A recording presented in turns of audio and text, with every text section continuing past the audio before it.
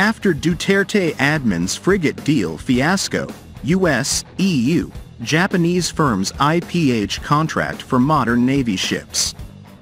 Defense equipment suppliers from the United States, the European Union and Japan are reportedly vying for a lucrative contract to build two state-of-the-art frigates that would herald a modern era for the Philippine Navy. Original equipment manufacturers, OEMs, from the Philippines' traditional defense allies have already created competitive proposals for the 2024 frigate acquisition program, Politico learned. Defense Secretary Gilberto Teodoro Jr. has reportedly expressed support for the initiative, which would include a requirement for technology transfer so the frigates can be maintained locally rather than in shipyards abroad. The program is also said to include details on self-reliant defense posture commitments and the mandatory involvement of a Filipino shipbuilding workforce. The list of new defense equipment that the armed forces plans to procure has already been finalized and available for funding.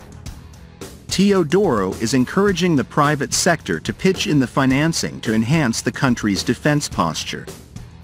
This ambitious program reflects a significant strategic shift in the Philippines' approach to defense procurement. Under the guidance of Defense Secretary Gilberto Teodoro Jr., the program is not just about acquiring new ships but also about fostering a self-reliant defense posture.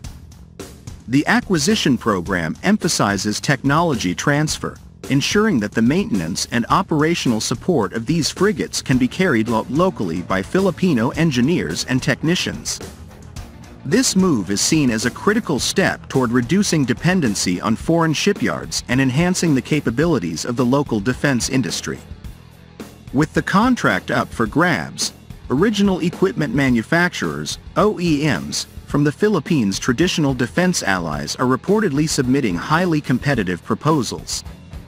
Companies from the United States, European Union member states, and Japan are all eager to secure this prestigious deal, which is expected to bring not only financial rewards but also strengthen strategic ties with the Philippines.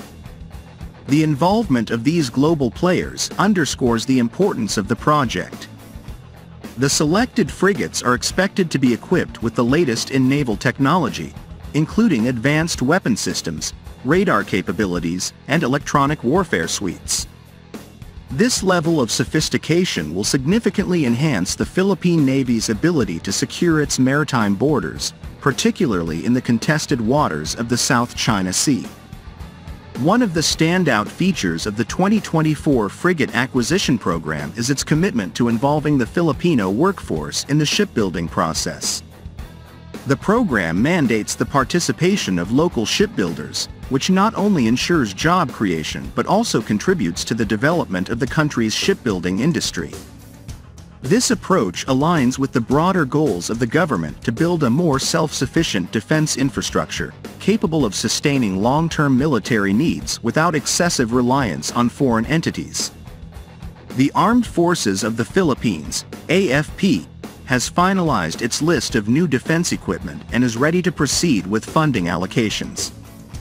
However, in a bid to further enhance the country's defense capabilities, Defense Secretary Teodoro is also encouraging the private sector to contribute to the financing of the program. This call for private sector involvement is seen as a way to diversify funding sources and accelerate the modernization of the Navy. The 2024 program is a clear departure from the previous administration's handling of defense contracts. The 2016 frigate acquisition under President Rodrigo Duterte was plagued by controversy, with allegations of corruption and political interference. A plunder complaint has been filed against Duterte and his former aide, now Senator Bong Go, accusing them of meddling in the P-16 billion contract awarded to a South Korean firm. The complaint claims that despite the Philippine Navy's preference for a Dutch supplier, the administration pushed through with the South Korean deal, leading to questions about the integrity of the procurement process.